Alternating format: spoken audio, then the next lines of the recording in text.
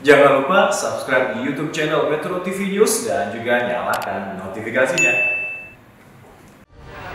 di pojok barat Senayan Jakarta ini menetapkan Saya berbicara langsung kepada rakyat. our constitution, the Pancasila.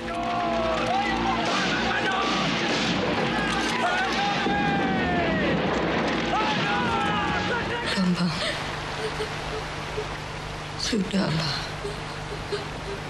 Ayahmu telah syahid.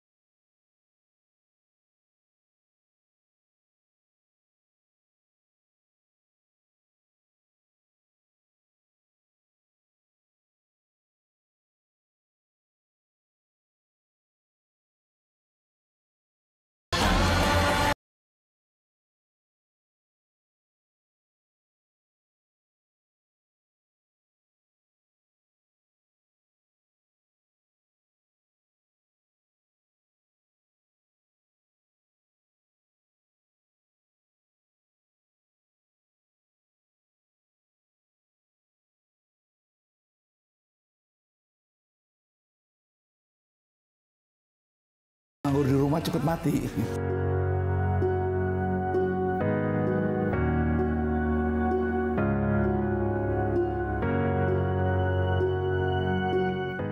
Sebenarnya kalau kesenian tuh nyasar aja, ya kan.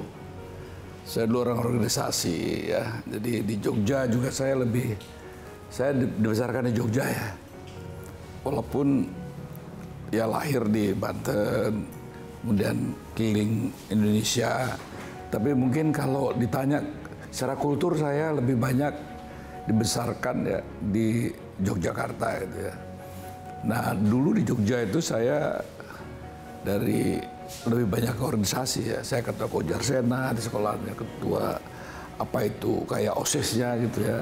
Saya ketua GSNI juga gitu. Jadi memang dari dulu eh, sudah hobinya di situ ya. Eh, di kesenian ini ada perubahan politik waktu itu saya pikir waduh ini orang politik kok sadis-sadis gini ya gitu. Saya mencoba melupakan itu semua. Kemudian saya ya di kesenian lah karena di kesenian kan lebih apa ya lebih human gitu ya. Dan saya juga baru belajar gitar itu apa ya pas SMA aja kayak apa sih main gitar gitu kan. Jadi sebetulnya apa ya kalau di musik itu boleh dikatakan lebih waktu itu karena tidak boleh aktif politik lagi sama bapak itu kan. Ya ya sudahlah. Saya di pramuka terus saya di kesenian gitu ya. Ya akhirnya mungkin waktu saya ke Jerman ya. Saya umur 19 tahun di sana. Udah pergi karena di situasi di sini nggak memungkinkan itu ya. Dan di sana itu saya daripada nguli ya ya lebih main musik lah ya. Nah dari situlah saya berasa berhutang budi sama musik gitu.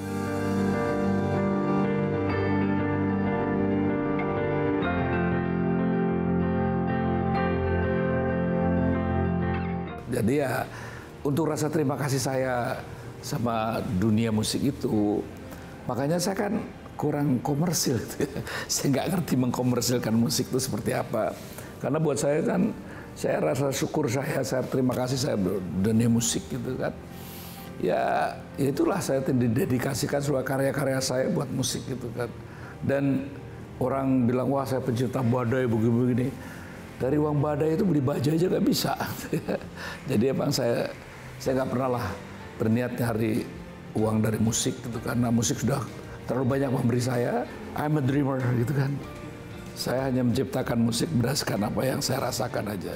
Jadi kalau dipesen nggak bisa gitu kan. Jadi kalau dibilang Pak Eros musisi ya, malu kalau saya ngaku saya musisi gitu kan. Karena main saya kan pas-pasan aja gitu. Tapi saya juga nggak tahu kenapa bisa mencipta itu ya.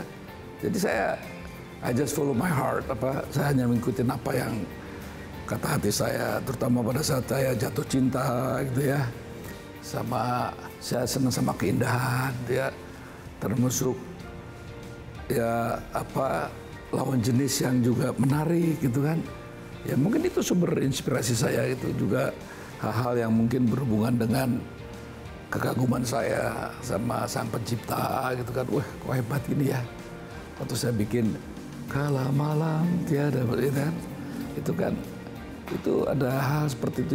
I just do it what I love gitu aja. Karena buat saya tuh apa ya cinta tuh dunia yang luar biasa gitu ya. Yang itu nggak bisa dimiliki oleh makhluk lain kecuali diterjemahkan secara indah oleh manusia itu.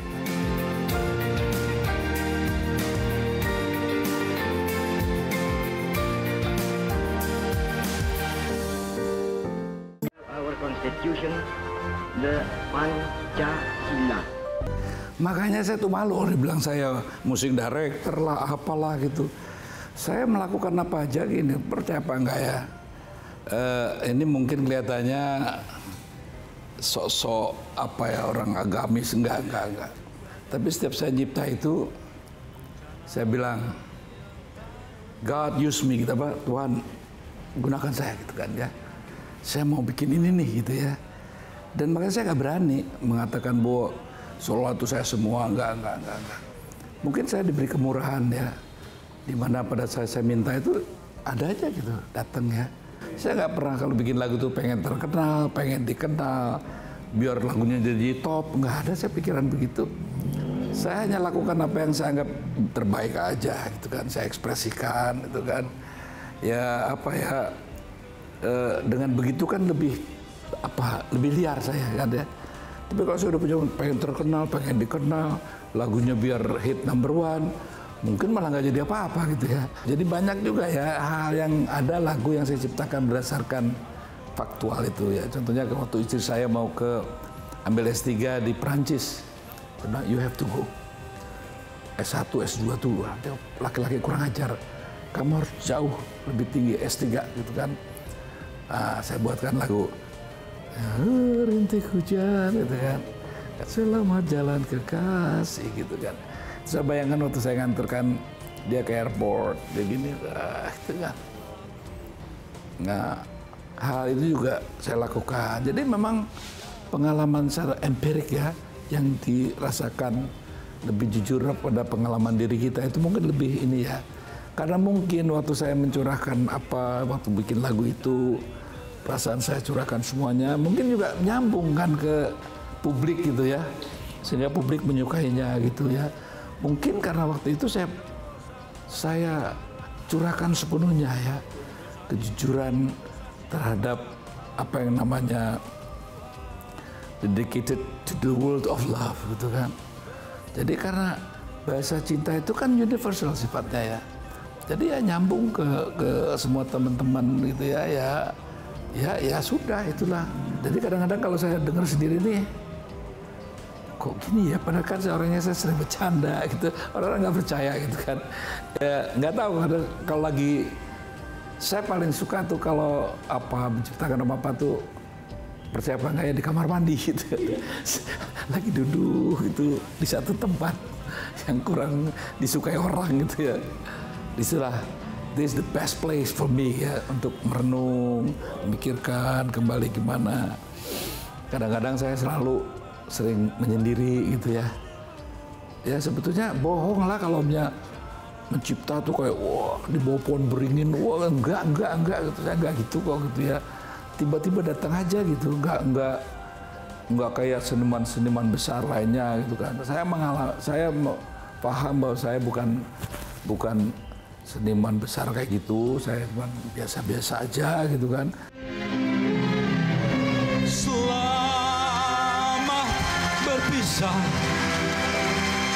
Kenangan bercinta. Sampai kapankah jadinya? Aku harus menunggu Hari bahagia. Seperti Merpati, merpati putih. Alah, mana ya? Kalau jujur nggak enak, nggak jujur pusing nih. adalah, itu adalah, ada, ada. Well, waktu itu kan umur 26 ya. 26 itu saya belum nikah ya. Jadi masih liar sekali. Mengekspresikan segala sesuatu itu kan kalau belum ada beban ikatan dan lain-lain begitu luar biasa gitu kan. Jadi memang ada seseorang lah gitu ya yang waktu itu memang luar biasa ininya ya.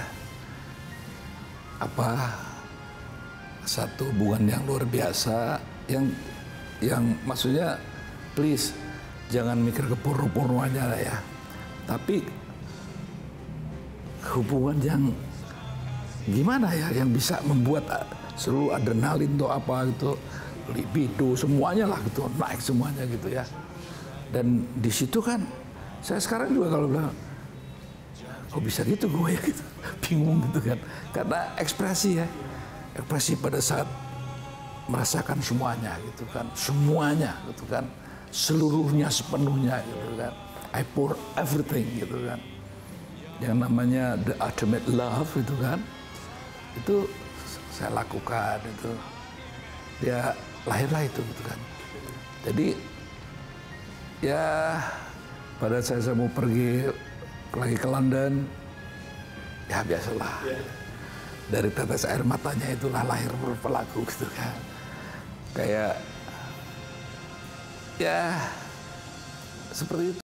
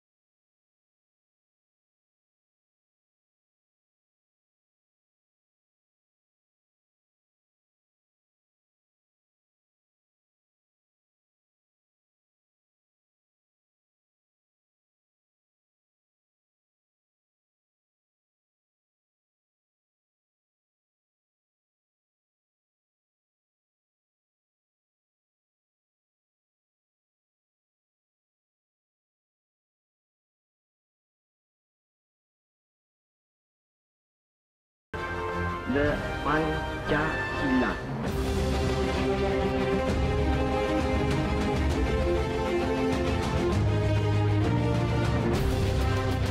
Apa yang kalian inginkan dari diriku? Seharusnya kalian malu mengotori negeri ini. Katakan itu pada pemimpin kalian.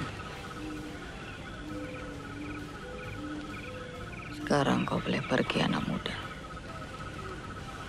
Cepat. Sebelum aku merubah pikiranku. dulu saya tuh gini ya. Saya tuh sering kok gaul sama ibu-ibu pejabat ya. Siap yang dia omongannya tuh sekitar itu aja. Tas Christian Dior Hermes gini amat sih gitu ya. Dan waktu itu kan ada Dharma Wanita. Masa perempuan hanya posisikan sebagai pendamping? Impian saya tuh gini kalau perempuan Indonesia kan dari demografi itu kan lebih banyak lebih besar ya. Nah kalau perempuannya tidak difungsikan produktivitas dia ya diposisikan ke warga kelas 2 gitu kan. Mau jadi apa negeri ini gitu kan. Saya ingin perempuan itu pada bangkit gitu ya. Makanya salah satu figur yang bisa mungkin mempengaruhi itu Cut Nyadin ya. Cut Nyadin membuktikan bahwa perempuan itu bukan makhluk yang seperti dikonotasikan lemah, bodoh dan seterusnya gitu ya, atau tidak sekuat laki-laki itu kan. Kenapa kalau perempuan Indonesia ada bangkit, negeri ini pasti luar biasa gitu kan ya. Tidak hanya bicara soal kosmetik kan, ngurus anak, ngurus, ngurus rumah tangga. Saya di rumah juga gitu kok, saya yang masak kok, saya gak merasa rendah gitu kan. Istri saya kalau ngeladenin saya bilang, eh kamu bukan babu saya, udah kamu tenang aja, saya bisa bikin kopi sendiri kok gitu kan. Nah, kalau eh, perempuan-perempuan Indonesia seperti itu, kan luar biasa nih ya. Masa saya paling benci kalau ada teman saya tuh yang nganggep istrinya tuh kayak gimana gitu ya.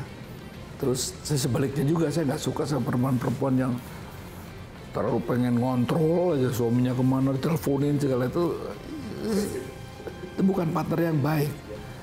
Itu namanya hansip yang baik itu, bukan partner yang baik. Nah kalau hubungannya resiprok saling menguatkan, ah negara ini kan hebat ya. Itu yang saya cita-cita, mimpi saya itu pada perempuan-perempuan Indonesia itu kan. Ya tapi ya tergantung lah. Karena sekarang ini kan male, male luar biasa. Kira-kira itu kenapa saya bikin film Cunyadin tuh. Eh, perempuan bangkit, bangkit, bangkit gitu lah. Aku tidak mengerti. Terbuat dari apa hati orang berkhianat? Sementara kita dalam keadaan seperti ini. Apa yang dia mau dari diriku? Jadi syuting Cut Nyadin itu masa sampai dua tahun karena berhenti nyari duit, berhenti nyari duit gitu kan. Dan kalau jumlah berapa ya relatif kecil lah itu ya. Cuman waktu itu ada seorang yang ikut saya, orangnya sering nampang gitu ya.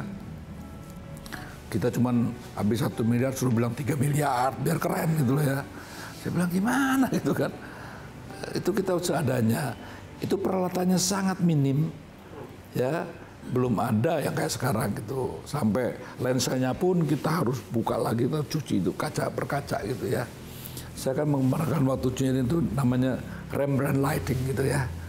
Yang kemudian diadaptasi juga di ada filmnya Teguh gitu kayak nah hal seperti itu yang pencarian-pencarian itu sebetulnya kan semangat baru ya yang coba kita tanamkan. Saya cuma bilang saya aja yang nggak ngerti apa-apa bisa kok bikin Cunyadin. Kalian yang hebat-hebat harus bisa lebih dari itu, gitu kan. Jadi maksud saya as- asal kita mau, kita fokus, kita tekun dan bikin teamwork yang baik, itu kan pasti bisa kok. gitu. Nah, jadi kalau saya kenapa karya begitu, kenapa saya terima kasih sama yang di atas karena yang nyiptakan, yang membuat saya itu begini kan yang di atas selalu sebelum syuting saya bilang, ayo kita sembahyang dulu, kita doa dulu yuk, gitu. Gitu. Jadi bos saya itu hanya Tuhan, bukan Presiden Jokowi, bukan. Saya adalah ah, pegawainya Tuhan. Karena yang bisa mencat saya dia.